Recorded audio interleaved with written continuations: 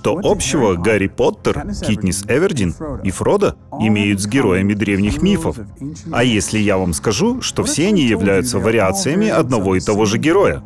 Вы поверите в это? Джозеф Кэмпбелл верил.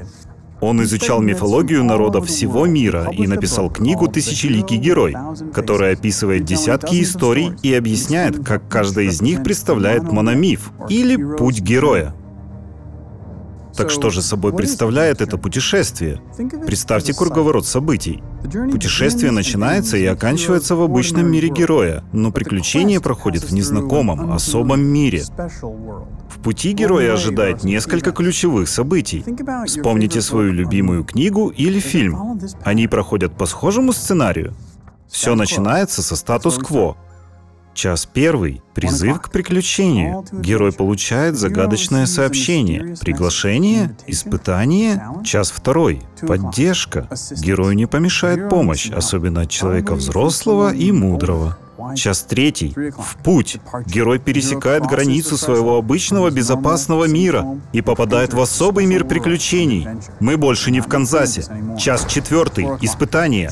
Быть героем — тяжкий труд. Наш герой решает головоломку, убивает чудовище, минует ловушки. Час пятый. Приближение.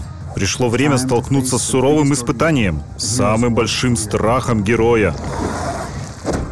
Час шестой. Кризис. Это самый трудный момент для героя. Он познает смерть, а возможно даже и умирает. Но лишь для того, чтобы возродиться. Час седьмой. Сокровище. В итоге герой получает какое-то сокровище, особое признание или способность. Час восьмой. Результат. В разных историях он может быть различным. Возможно, чудовище преклоняется перед героем, а возможно и преследует его, пока он спасается бегством из особого мира. Час девятый. Возвращение. После пережитых приключений герой возвращается в свой обычный мир. Час десятый. Новая жизнь. Приключения изменили героя. Он перерос себя прежнего. Час одиннадцатый. Развязка.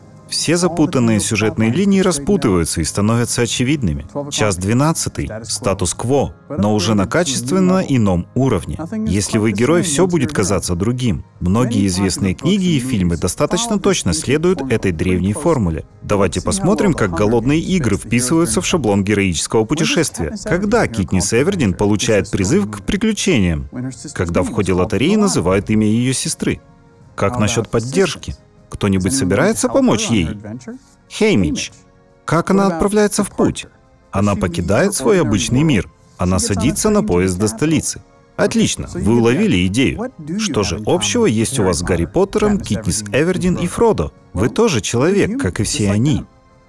Миф о пути героя существует во всех культурах, и он продолжает изменяться, поскольку мы, люди, воспринимаем наш мир через призму образных историй о нашей жизни. Вы покидаете собственную зону комфорта, испытываете то, что изменяет вас, восстанавливаетесь и повторяете все сначала. Буквально, вы не убиваете драконов и не противостоите Вальдеморту, но ваши проблемы, значит, ничуть не меньше. Как сказал Джозеф Кэмпбелл, сокровище, которое вы ищете, находится в пещере, в которую вы боитесь войти. Какая символическая пещера внушает вам страх? Прослушивание для школьного спектакля? Отборочные соревнования? Любовь? Поищите эту формулу в книгах, фильмах и сериалах, которые попадутся вам под руку. Определенно, вы ее еще встретите. Однако будьте внимательны и к собственной жизни. Услышьте свой призыв к приключениям. Примите вызов. Поборите собственный страх и получите сокровище, которое ищете. А затем повторите еще разок.